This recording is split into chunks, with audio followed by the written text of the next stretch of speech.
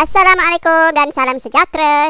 Kita bertemu kembali bersama dengan saya Cikgu Arifah di channel Cikgu Rifah. Jom kita belajar bersama-sama.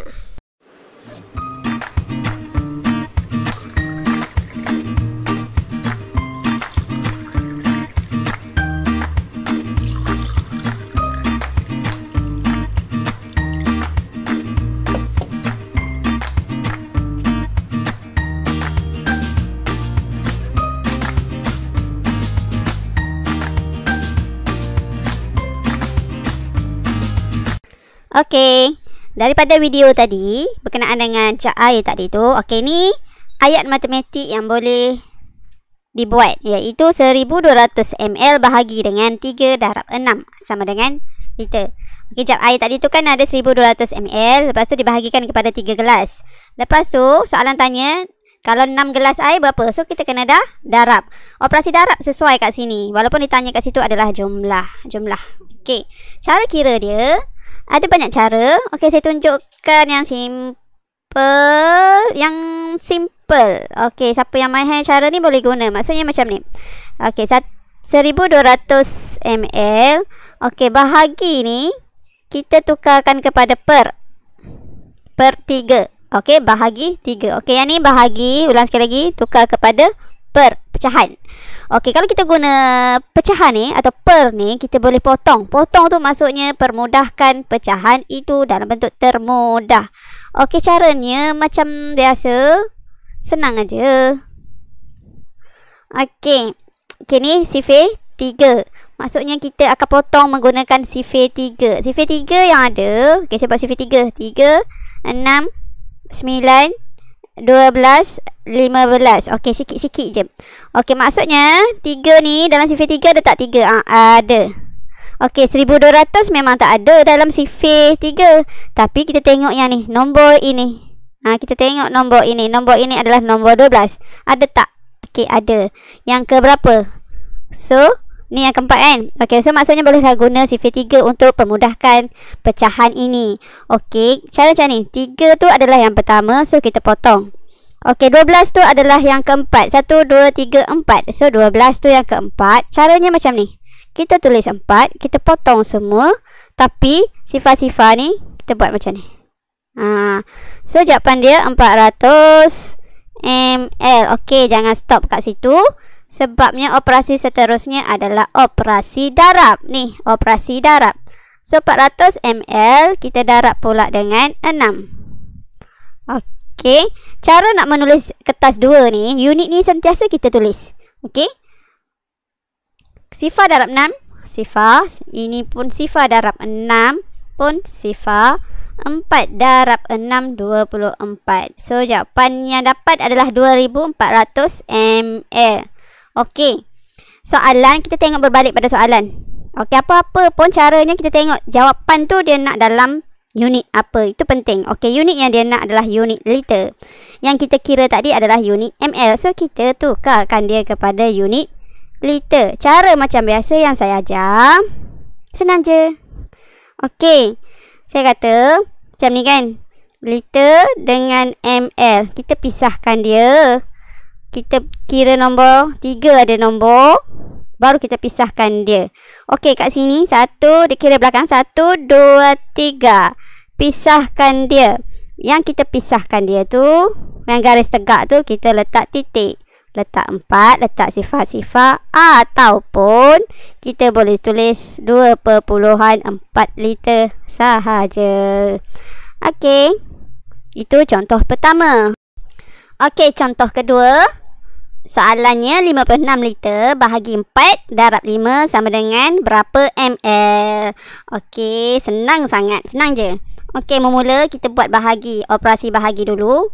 Okey, contoh pertama tadi saya tunjuk cara permudahkan dalam pecahan. Okey, sekarang ni saya tunjuk cara bahagi biasa. Okey, kita ambil 56 liter. Okey, setiap kali kita salin tu unit wajiblah senang kita terus tulis. Jangan kita tulis 56 je. Sebab dia ada unit sekali kan. So, kita tulis 56 liter. Bahagi dengan 4. Okey, sifir 4. 4, 8, 12, 16, 20. Okey, kita buat sikit-sikit je sifir tu. Kalau dah, uh, dah ingat tak perlu pun buat sifir ni. Okey, 5 bahagi dengan 6. Eh, 5 sorry, 5 bahagi dengan 4. Okey, dalam sifar 4 tak ada kan? Yang palingnya ini. Okey, yang ke yang pertama. So, tolak 4. 5 tolak 4. 1. Lepas tu turunkan 6. So, jadi 16. Cek dalam sifar ada tak? Ada. So, yang ke 4. Okey. Tolak 16. Habis. So, unit dia jangan lupa. Okey, 14 liter. Okey, ini dah settle. Yang ini kita dah settle. Sekarang kita nak buat darab. Okey, 14 liter. Darab 5. Okey. Cara saya tulis. Tengok saya tulis. Selalu saya tulis unit. Jangan tinggal unit tu. Okey, 4 darab 5 adalah 20. Tumpang di sini. Kita buat yang ini dulu. Jangan tambah lagi. Darab dulu. 1 darab 5. 5 tambah 2. 7. 70 liter. Okey, so jangan stop kat sini sebabnya jawapan nak dalam ml. So, berapakah dalam ml?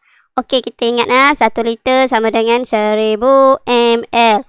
Okey, cara cepat nak tukarkan unit macam ini lupa. Okey, kita buat macam ni liter ml. 1 2 3 tu untuk liter kita asingkan yang L ni. Tak kisahlah berapa nombor tu untuk L. Asalkan 1 2 3 kita asingkan. Okey, jom kita tengok. 7 lit 70 liter. Okey, 70 liter. So, kita letak sini 70. Okey. Ini dah garis pemisah. Ini nak buat apa? Ini tak ada nombor kan? Ha, tak. So, sebab ini terpisah. So, kita letak sifar. Sifar, sifar. So, jadilah 70,000 ml. Ha, tu caranya lah. Kalau dah mahir, tak perlu pun buat macam ni sebenarnya. Okey, contoh tiga. Soalan jenis lain pula. Okey, kita tengok. 47 liter. 145 ml bahagi dengan 5. Lepas tu darab 3. Sama dengan jawapan nak dalam ml. Okey, senang je. Kita buat operasi bahagi dahulu. Okey. Kita ambil nombor ni. Ada banyak cara sebenarnya nak tukar terus kepada unit yang dikehendaki pun boleh ataupun nak buat dulu baru nak buat soalan semua ni baru last kena bertukar pun boleh. Okey, saya buat dulu soalan. Okey, 47 liter 145 ml bahagi 5. Okey, sifar 5. Senang je. Tak payah pun sifar 5 ni. Nak ingat 5 10. Okey, saya tulis ni 15 20 25 30, 35, 40, 45. Okey dah cukup lah yang ke-9. Okey kita tengok ni. Uh, 4, 4 ni kecil sangat. So gabungkan. 47 bahagi dengan 5. So check kat bawah ni. Uh, sambunglah sikit lagi. Okey. 47. So ini tak boleh ambil 50. So kita ambil 45. 45 ni yang ke-9. So tolak 45. So, akan tinggal 2. Sini sifar. Tak perlu tulis pun. Nak tulis pun boleh. Tak nak pun tak apa. Saya tak nak tulis lah. Okey, baki dua. Ada murid, dia jawab macam ni. Dia buat macam biasa. Dua, dia turunkan satu. Ah, ha, salah. Tak boleh gitu. Okey, cara dia. Kena buat arrow. Okey, dua ni, dua liter. Dia pindah dekat ni, dekat kawasan ML ni. Dah masuk kampung ML. So, kita kena tukar lah. Liter menjadi ML. Satu liter. Satu liter seribu ml. Kalau 2 liter, 2000 ml. So, tambah 2000. Susun betul-betul. Okey. Okey, tambah 5, 4, 1, 2. Okey, inilah nombor yang baru untuk dibahagikan kat sini. Okey. So, kita bahagikan. Okey, 2 nak bagi dengan 5 kecil sangat. So, kita buat, so kita gabungkan 21 ni. Kita ambil yang ni. Yang saya bulat ni. 21 bahagi 5. Jawapan tulis atas ni. Okey, 21 yang paling dekatnya adalah yang keempat. So, tolak sini 20. 1 kat situ. Okey. Lepas tu nak buat apa? Kita macam biasalah. Kita turunkan nombor. Nombor 4. Okey, 14. Dalam sifar 5, yang paling hampirnya adalah 10. So, ambil yang kedua. Jadi, tolak 10. Okey, tolak lagi. Tinggallah 4. Okey, buat apa lagi? Turunkan 5. So, jadi 45. 45 ni yang ke 9. So, tolak 45. So, habis. So, ni tanda unit dia. Jangan lupa. 9 liter 429 ml. Okey, dah habis operasi bahagi. So, kita buat operasi darab. So, kita ambil jawapan tadi. 9 liter. Saya suka asingkan. Nak tak nak asing pun tak apa. 9 liter. Ni ml eh. 9 liter 429 darab 3. Okey.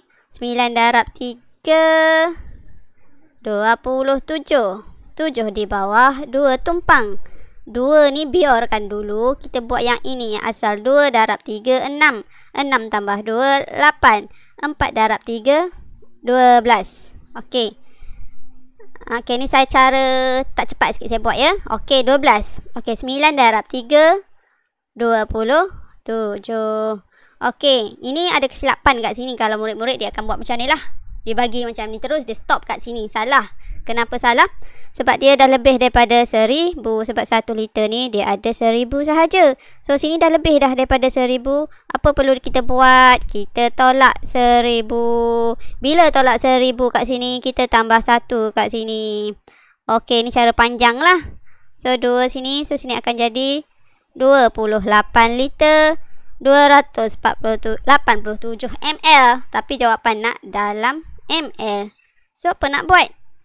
Ha, senang je kita kira 1 2 3 daripada belakang. So maksudnya kita tak nak ni, tak nak liter, kita padam liter. So gabungkan dia 28287 ml. Siap contoh ketiga. Okey, ni contoh yang keempat. Okey, saya baca soalan dia 6 darab 3 liter. 20 ml bahagi dengan 4 sama dengan berapa liter dan berapa ml. Okey, jom kita tengok macam mana nak jawabnya.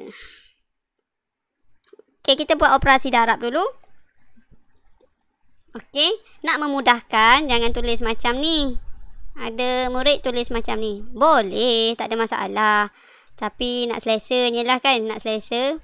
Kita tulis ini.